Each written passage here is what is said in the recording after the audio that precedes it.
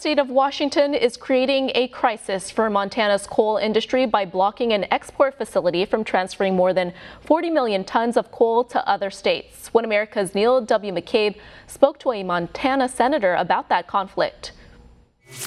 Montana Republican Senator Stephen Daines told One America News it is not fair for other states, specifically Washington state, to use their own permitting procedures to keep Montana from making business off of coal.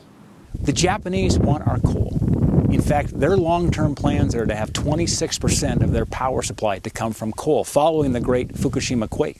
Daines said Montana has the country's largest deposits of recoverable coal, which are among the cleanest burning, low sulfur, low ash coal found anywhere in the world. The source of the coal is the Powder River Basin, a massive geological treasure chest that covers more than 19,500 square miles with at least 47 coal beds across Montana and Wyoming.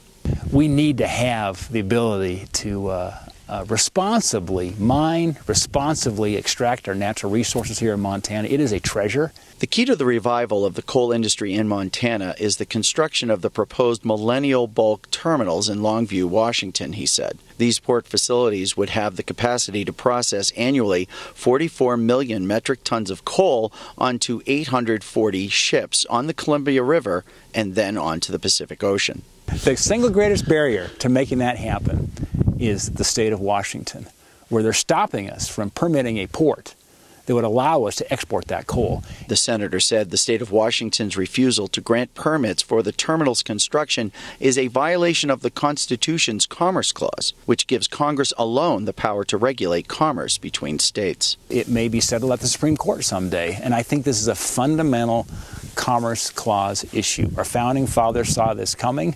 They knew this was going to be a problem. They put it in our Constitution. And I believe that this may be very solid ground for us to argue on. Neil W. McCabe, One American News, Belgrade, Montana. Want to see more videos like this? Click on the link below and subscribe to One American News on YouTube. And call your cable provider and kindly demand that One American News is added to your lineup. Call and subscribe today.